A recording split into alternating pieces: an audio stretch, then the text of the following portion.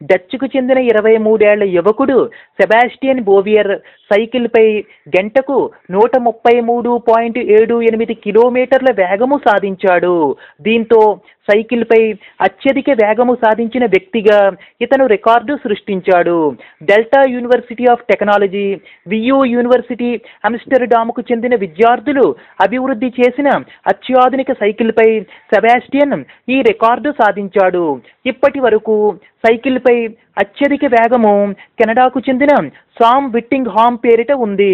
Sebastian విట్టింగ్ హామ్ కన్నా గంటకు సున్నా పాయింట్ ఆరు కిలోమీటర్లు అధిక వేగము సాధించాడు.